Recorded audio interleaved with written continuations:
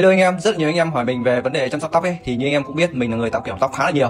Thì hôm nay mình đang rảnh mình sẽ chia sẻ cách dưỡng tóc tại nhà đơn giản cho anh em nhé. Thường thì mình khi gội đầu thì mình sẽ làm ngay trên bàn gội và một tuần thì mình ờ, thường làm hai lần, lúc nào rảnh thì mình có thể làm ba lần.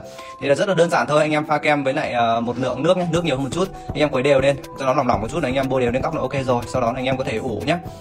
Đó là cái cách chăm sóc và dưỡng tóc dành cho những cái tóc mà khô sơ do đã làm hóa chất hoặc là do tạo kiểu quá nhiều và không có dưỡng gì cả. Thì đó là cái phục hồi chuyên sâu. Thì anh em có thể là ủ trên tóc thì nó sẽ cung cấp độ ẩm cũng như là những cái dưỡng chất cần thiết để cung cấp cho những cái tóc của anh em sau khi mà anh em là uốn và nhuộm hay là tẩy hay là duỗi tóc gì đấy thì nó là cái sản phẩm đặc trị cho những cái tóc mà khô sơ đã sử dụng qua hóa chất.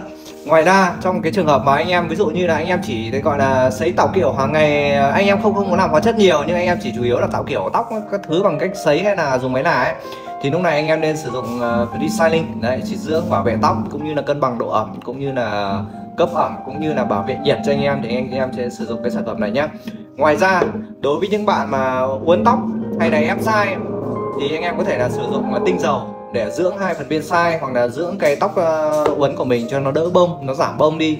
Cũng như là nó mềm mại hơn thì khi mà anh em chơi tóc uốn thì nó sẽ rất là đẹp. Thì trên đây là cái chia sẻ của mình về cái vấn đề chăm sóc tóc. Thì uh, nó cũng là ba cái sản phẩm mình hay chia sẻ đến anh em về cái việc dưỡng tóc. Thì anh em có thể xăm ờ, tham khảo ở trong giỏ hàng nhé. Cảm ơn anh em.